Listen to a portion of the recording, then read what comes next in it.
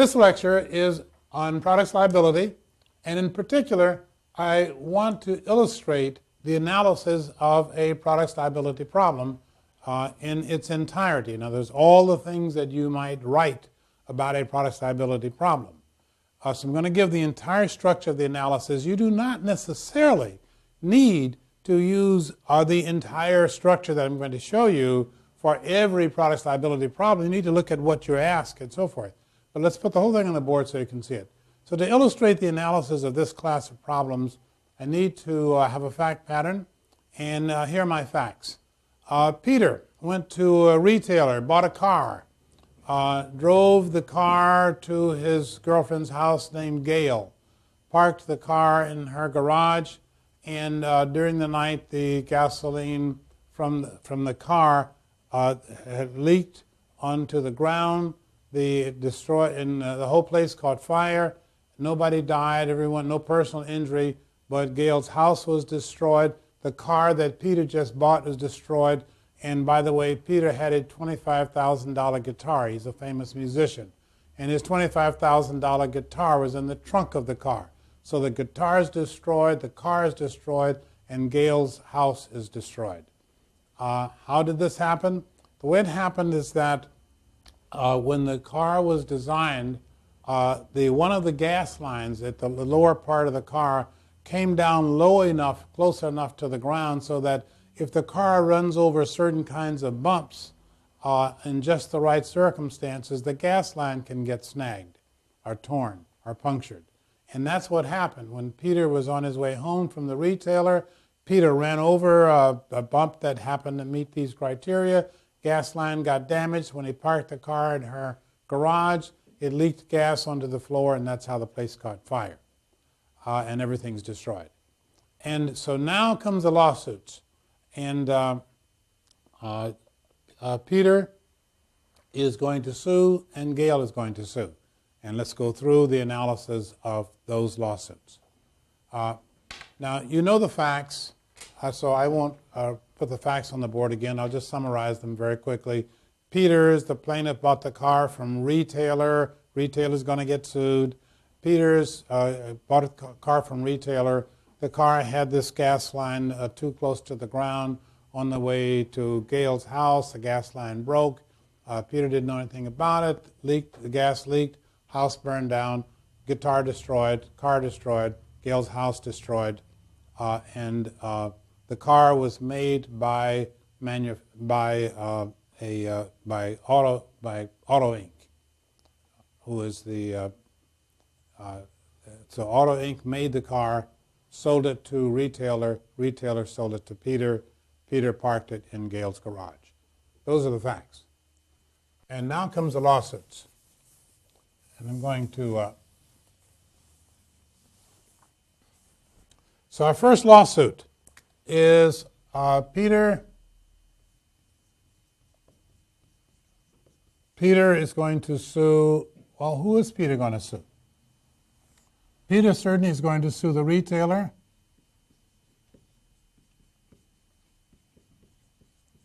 And Peter will sue the Auto Inc who made the car. When Peter sues retailer, uh, he can sue retailer on three theories negligence, breach of warranty, and strict liability. When Peter sues retailer, uh, when Peter sues Auto Inc., Peter will likewise sue Auto Inc. for um, negligence, breach of warranties, and strict liability. When Peter sues retailer for negligence, breach of warranty, and strict liability, uh, remember that in strict liability, there are two sources of the strict liability obligation. So, uh, mo- almost all states have adopted the second restatement, and some have adopted, many have now adopted the third restatement. So the strict liability rule can be the one in the second restatement or the one in the third restatement. We have to do both analysis on the bar. for the bar. So, uh, so we, uh, so for both the, when we sue Auto Inc., we'll sue Auto Inc. for negligence, breach of warranty, and on the strict liability, second restatement, and third restatement, do the analysis, do both of them. so those are the lawsuits that Peter will bring. Let's see how far we'll get with these lawsuits. Peter sues retailer for negligence. Well, the retailer of this car uh, did not have any reason to know about this conflict. And so we're not going to get any place with a suit for negligence against the retailer. So we'll just put a big no here. Next, breach of warranties. Well, what warranties do we have?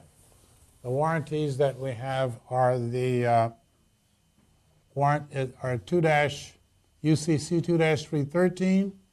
Those are the express warranties, and there were no express warranties by the retailer in this problem. And the other warranties are 2 314, which are the implied warranties. Every commercial seller is impliedly warranting that the product is fit for ordinary use and all those things we've talked about.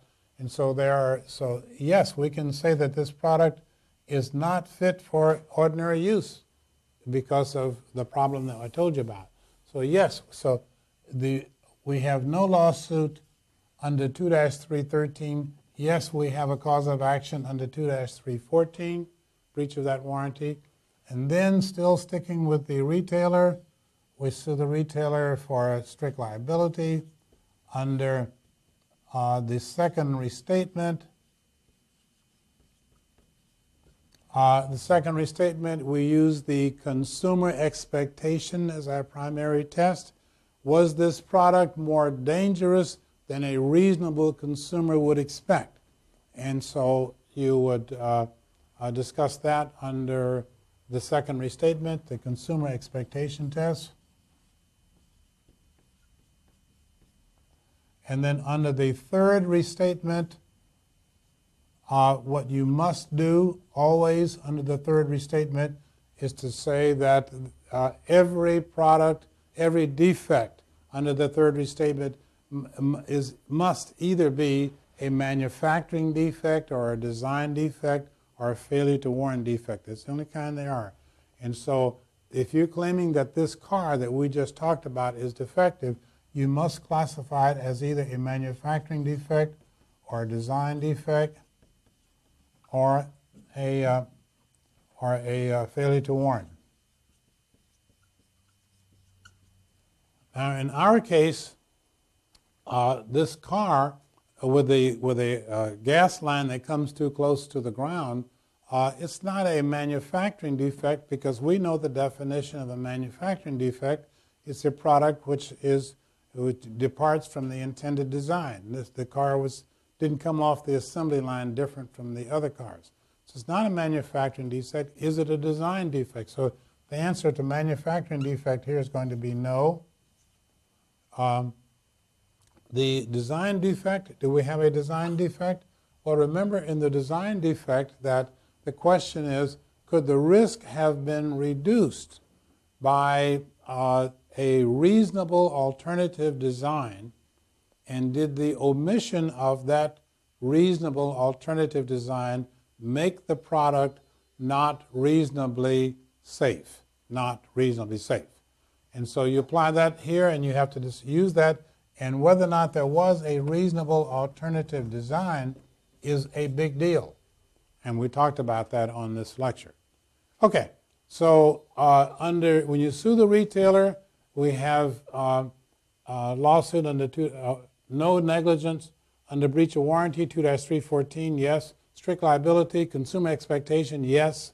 We have a lawsuit under the second restatement against the retailer. Third restatement, uh, we, uh, it's not a manufacturing defect. You would argue that it is a design defect because clearly there are reasonable uh, alternative designs, and you do explain that fully. Talk about the cost and the uh, whether or not it's within the state of the art to put that pipe put that gas line up higher so it's further from the ground. That's certainly within the state of the art. talk about the cost of doing it, the utility, how much danger does it create, and so there was a reasonable alternative design. Then the uh, uh, failure to warn, well, this is not a failure to warn case because they didn't even know about it. Those are the suits against the retailer. Now comes the Auto Inc. You sue Auto Inc.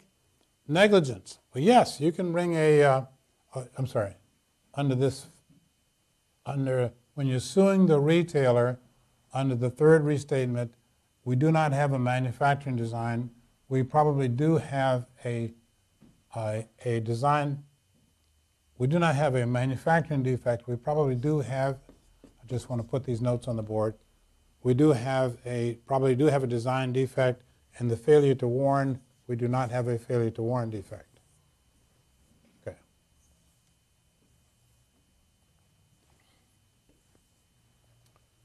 Okay, so uh, that completes our lawsuit against retailer. Now we come to the Auto Inc. We're going to sue Auto Inc. for negligence. Well, uh, when you designed uh, the car in that way, uh, can't you make an argument that it's foreseeable that someone's going to get injured, uh, and it's uh, in you? I mean, there, in other words, I'm saying that this design was done negligently because a uh, this is a you can establish by uh, uh, by uh, any of the negligence methods. You can you can establish it by, for example, uh, the, the balancing test. You can say it's so easy to have designed this safer and they didn't do it, and it, it, it creates a substantial risk of great bodily harm or death. That's negligent conduct. Then causation damages defenses. So uh, you can argue, argue negligence here against them, yes. Breach of warranty against Auto Inc., same warranties. Uh, there was no 2 313 warranty because there were no express warranties. The 2 314 warranty, yes. So 2 uh, 313 is a no because there were no express warranties. 2 314 is a yes because it's a yes because there were implied warranties. And now strict liability against the Auto Inc. Second restatement, you apply the uh, consumer expectation test, and I think you have a good claim there. And then under the third restatement, again, you break it up into manufacturing, design, and failure to warn. Now, what I want you to see here, I mean, it's clear to you how you do this, but there are two final important points I want to make. Uh, one is that I want you to see that a lot of this analysis is duplicated. Uh, when you sue the retailer for strict liability, the analysis for strict liability of the retailer is exactly the same as the analysis for the strict liability of Auto Inc. So you don't need to repeat that analysis, just you know, do a quick explanation of why they're the same. Uh, the breach of warranty by the retailer and the breach of warranty by Auto Inc., those are exactly the same. So make use of that in your writing. And then the last point that I want to make is that uh, for each of these lawsuits, if you were literally bringing this lawsuit against somebody in court and you said, these people were negligent. Uh, you would not just say to the court, these people were negligent. You, gotta, you can't do that. You'd have to say, these people were negligent and causation and damages, and they would bring on their defenses. So I'm saying this causation, damages, and defenses, so many people tend to leave it out. Don't leave it out of your analysis. Take the points. And so uh, for the, for in your first cause of action, for example, here, when Peter sues the retailer, Peter sues the retailer the uh, uh, under uh, uh sorry Peter sues the retailer uh, and you show the breach of warranty. You've got to do your causation and uh, damages and, and look for defenses. Now I said that was the last thing, but actually that's not quite true because we've still got Gail and we've got to we have a little issue here uh, that we haven't talked about. Let's talk about that issue right now, then we will be done.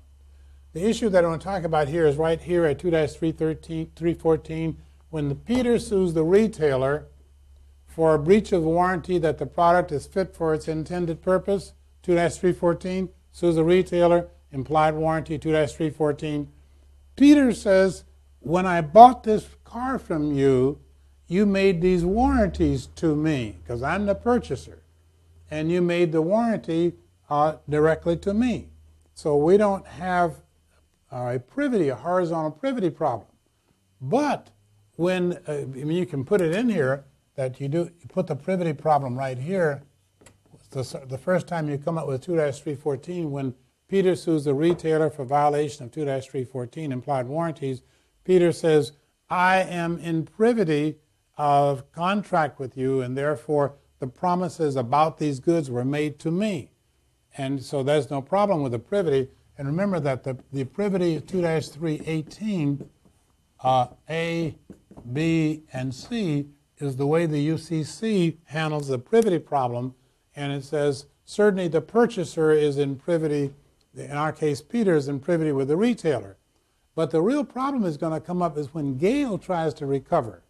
And when Gail tries to recover, uh, Gail is not in privity nor with the with the retailer. So if she tries to recover, now not under the strict liability or breach of warranty, she's clearly a foreseeable, pardon me, under negligence or strict liability, she's clearly a foreseeable plaintiff.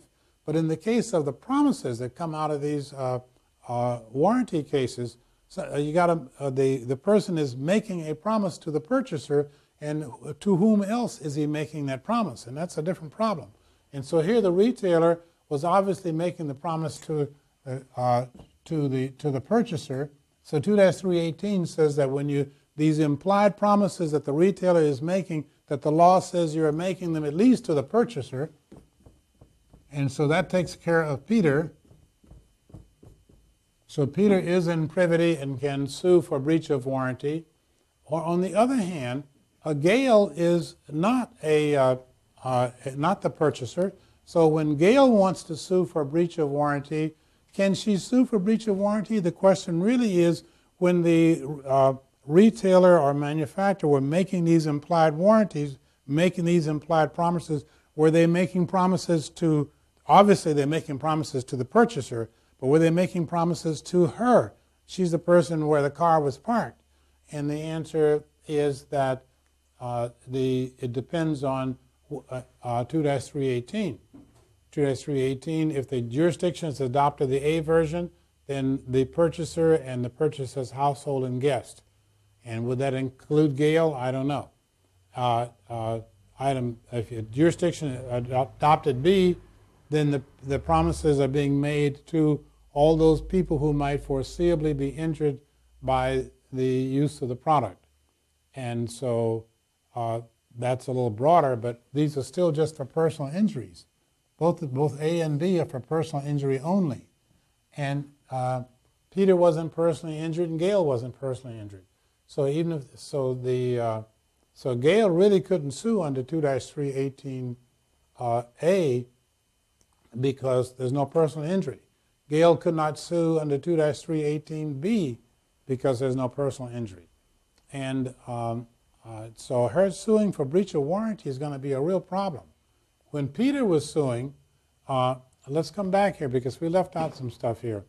When Peter was suing for breach of warranty under 2-314, Peter is obviously the purchaser, but what I want to point out is that uh, the uh, Peter's personal Peter can recover for his personal injury, but not his property damage.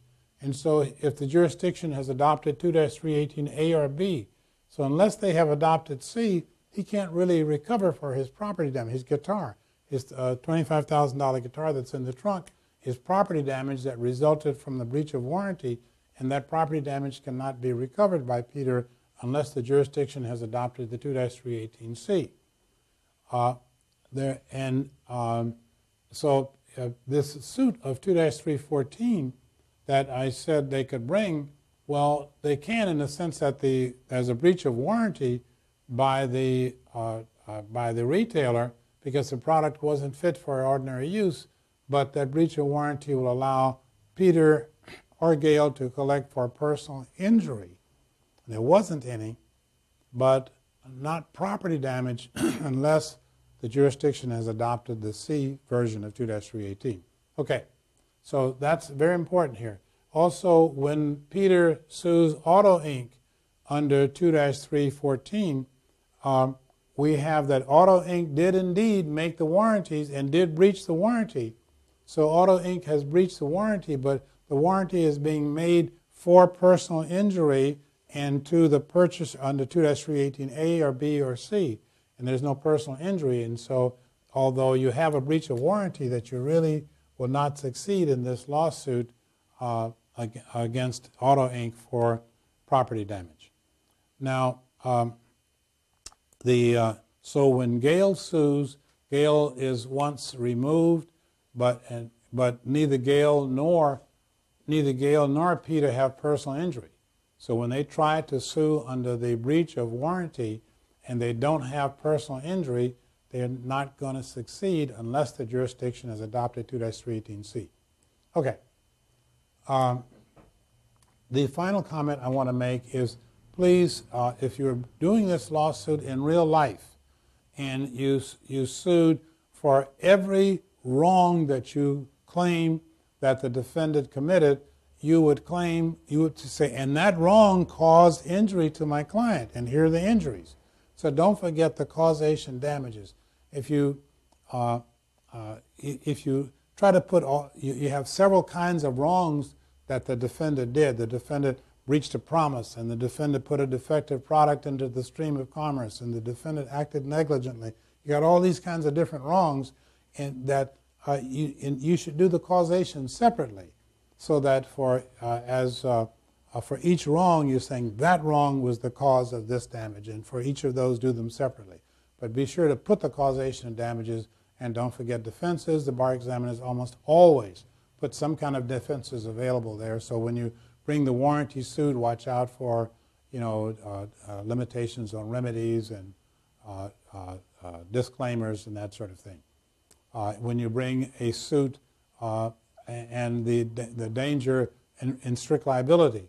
And uh, the, the product was defective, but the danger was obvious, and the person went ahead and did it anyway. Well, you may have some contributory negligence, and that's a partial defense. So don't forget those partial defenses or full defenses. Okay, so the way, again, the way you analyze these, uh, um, these uh, products liability problems is that here, quick summary, Peter is suing retailer and Auto Inc. When Peter sues retailer, they'll sue for negligence. It did not happen. They sue for breach of warranty. This won't work because he has no personal injury. Uh, the strict liability, use the second restatement and the third restatement. Under the second restatement, the basic standard is consumer expectation test. If uh, Peter sues a retailer for violation of the consumer expectation test, he ought to win. If Peter sues under the third restatement, break it out, the, the, re, the uh, defect in the manufacturing, design, and failure to warn, and do those separately. And the same thing against the suit, Auto Inc. And finally, when Gail sues, that is when Peter sues Auto Inc. is pretty much the same thing, except Auto Inc. might be negligent. Uh, and finally, when Gail sues, uh, uh, Gail uh, can, uh, when Gail sues, she can sue the retailer, but the retailer wasn't negligent. Gail can sue the retailer for breach of warranty, but again, there was no personal injury, so she's not really going to be covered by that unless the jurisdiction has adopted the C version of 2-318. And when Gail can sue under the second and third restatements, you get basically the same results because she is a foreseeable plaintiff. And when Gail sues Auto Inc., Gail sues Auto Inc., the, uh, the suit will be basically the same, except that again, under warranty, unless she has personal injury, she cannot win that, or uh, unless she, uh, or unless the jurisdiction has adopted 2-318C. That's the structure, the organization, the way that uh, you should do these products liability problems. Uh, there are a lot of uh, repetition. These problems tend to be long because if for every defendant in the problem, you got all of these, these claims that you can make against that defendant. And if you put a couple of defendants or a couple of plaintiffs, you can see that the number of claims get to be enormous. But uh, watch for duplicates and, and be efficient when that happens.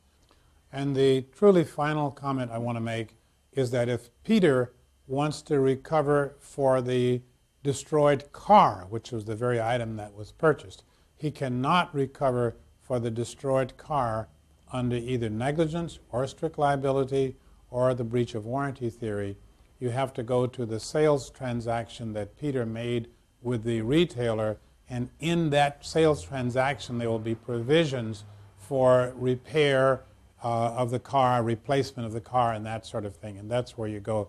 You don't try to recover for the damaged product itself under products liability theories. You recover them under these other theories. And that is the end of this lecture on how to do products liability problems.